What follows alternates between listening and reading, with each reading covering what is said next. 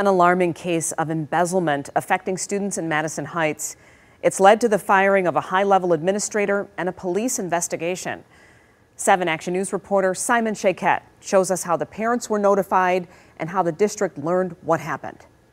This letter sent to parents just obtained by 7 Action News, written by the superintendent of the Madison School District, delivering a bombshell of broken trust, leaving parents like Tim Hobbs outraged. I think it's wrong.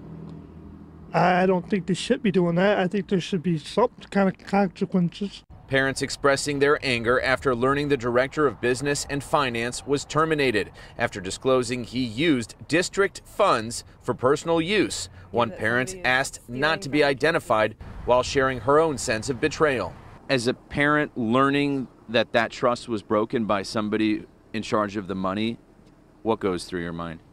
It's absolutely heartbreaking considering the schools are already low funded. They don't get enough money as is. After declining to do an interview, the superintendent sent us a statement saying their employee admitted back on April 3rd to improperly taking funds. They were terminated immediately and police were called. Police Chief Corey Haynes says the investigation into felony embezzlement is very active, but so far there's been no arrest. Right now we're looking at around twenty to twenty-five thousand dollars, but it, it could increase. As we speak, police are investigating how long alleged thefts of funds date back and how it happened. They plan to turn over all of their findings to prosecutors as soon as possible. It's important to note that a forensic audit is going to be done on the district next week. Are you wondering how this happened? Yeah, I'm definitely wondering. The school district's letter promises transparency and to continue doing good work on behalf of students.